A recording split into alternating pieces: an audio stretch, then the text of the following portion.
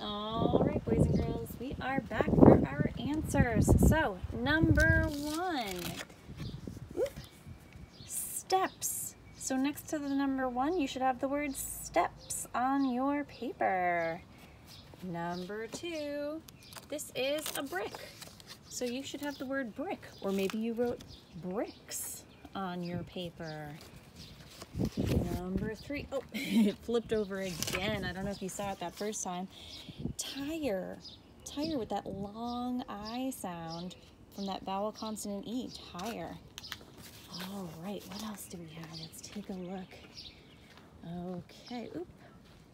Here's number four. I bet you all got this one. This is, of course, a rock. It's a rock. Okay. Number four, we had number five. And this is, of course, a bush. All right, here we go. And number six is grill, grill. Number seven plant, or if you wrote plants, that's great too, because these are plants. And of course, I am up here standing on number eight, which is upside down, the deck.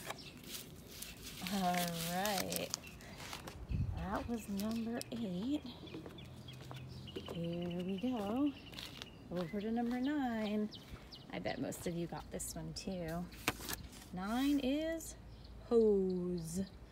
Nice work if you got that one. All right, then we're gonna go over here to number 10. And this is a rose bush. And that what I showed you before, um, that was a, there's another one. That is a bud that is gonna be a big, beautiful pink rose. And number 11, so this one was a little tricky. This was the word gate gate. It's a garden gate. And number 12, nice green grass. Grass, I see a bonus letter. All right.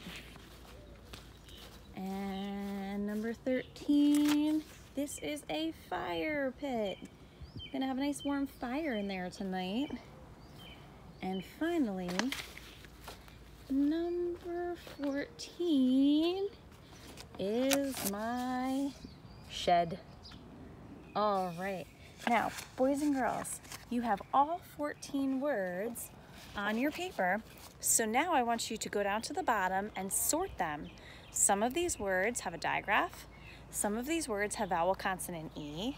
Some of these words have blends. And some of these words have blends and digraphs.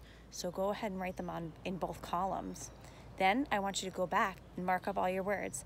Mark your blends, mark your digraphs, mark your vowel consonant E, mark your bonus letters, mark your suffixes, and have fun. See you later. Bye.